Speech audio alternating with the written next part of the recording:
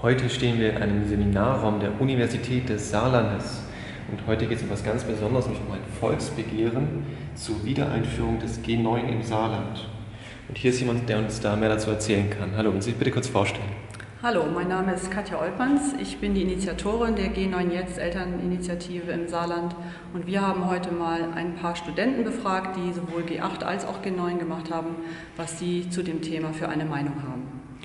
Genau, jetzt ist die Frage natürlich, warum ist G8 nicht so gut wie G9? Warum soll man das G9 wieder einführen? Also ich glaube, dass es einfach mehr Zeit für die Kinder bedeutet, mehr Zeit zum Leben und Lernen und dass man dadurch auch eventuell eine Qualitätsverbesserung nochmal am Gymnasium erzielen kann. Deswegen möchten wir, dass es wieder auf neun Jahre ausgedehnt wird. Genau, Sie haben dazu auch einen Flyer produziert, den haben Sie gerade in der Hand. Was genau steht denn da drin?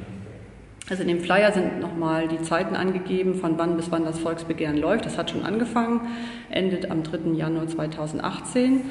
Und die Leute, die das unterstützen möchten, also unseren Gesetzentwurf, die müssen dazu auf das Bürgeramt gehen, äh, in der Gemeinde, in der sie im Saarland gemeldet sind. Und dort liegen Unterstützungsbögen aus, die man unterschreiben kann. In diesem Flyer steht also nochmal genau unsere Begründung drin, warum wir das wollen. Und es ist auch noch ein Link zu unserer Internetseite. Und auf Facebook gibt es uns auch. Das heißt, wenn man da dann noch Fragen hat, wie das alles funktioniert oder was genau ihr jetzt wollt, dann kann man euch auch mal da kontaktieren und mal nachfragen. Genau, auf unserer Internetseite www.g9 jetzt Saarland äh, sind alle Informationen veröffentlicht. Dort kann man uns kontaktieren und da stehen auch ähm, alle Öffnungszeiten der saarländischen Gemeinden drin. Genau, und jetzt nochmal zum Unterschreiben. Man muss aufs Bürgeramt und kann sich da dann eintragen. Genau, man muss wahlberechtigt sein, also 18 Jahre und im Saarland gemeldet sein und dann kann man das Volksbegehren unterstützen. Nochmal, bis wann hat man Zeit? Das gerade nochmal in die Kamera halten bis zum 3. Januar 2018 auf Ihrem Bürgeramt. So, dann würde ich sagen, wir hören uns mal ein paar Stimmen von den Studenten an. Also ich selber habe G8 gemacht und habe mich sehr häufig überfordert gefühlt.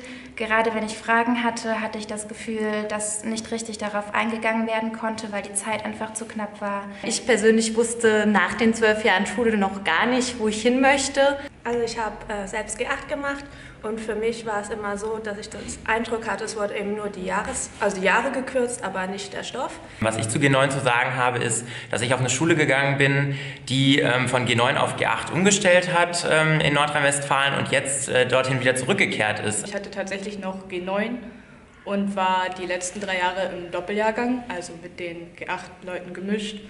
Und da hat man schon viele Differenzen gemerkt, ich war selbst im vorletzten Jahrgang des G9-Systems in Saarbrücken am Wirtschaftsgymnasium und muss auch sagen, dass der Stoff dort, da er vielleicht auch schon sehr wirtschaftslastig war, relativ stark komprimiert war und spreche mich deshalb auch für G9 aus. Ähm, ja, ich war selber an einem Gymnasium, wo es noch G9 gab und ich fand das System eigentlich sehr gut weil gerade wenn man so den Wechsel von der Grundschule aufs Gymnasium macht, denke ich, ist es schon eine ziemlich große Umstellung.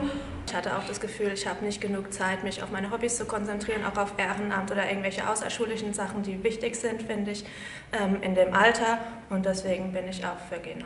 Wenn ich mir nur vorstelle, dass es noch komprimierter wird in den G8-Systemen, dann hat man wirklich überhaupt keine Zeit mehr, um sich noch als Mensch zu entfalten. Von daher auch pro G9.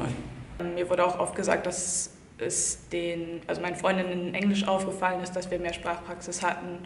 Ich habe an meiner Schule G9 gemacht, in Rheinland-Pfalz. Ich habe mich weder unterfordert äh, noch gelangweilt gefühlt und ich finde, ich hatte noch genug Zeit, eben Kind zu sein, was man in der Schule eben auch ist und meine Hobbys ausleben zu dürfen und mich anderweitig auch weiterentwickeln zu können. Deswegen bin ich pro G9.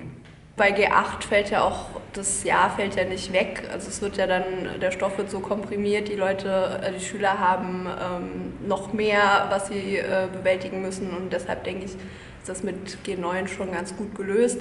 Ja, das Abi ist natürlich ein Reifezeugnis und ob man mit 17 oder 18 schon tatsächlich die Reife hat, um zu entscheiden, was denn nun nach dem Abi passieren soll, ist natürlich fraglich und deshalb wäre G9 besser meiner Meinung nach. Wer weiß mit 17 oder 18 schon, was er für den Rest seines Lebens machen will.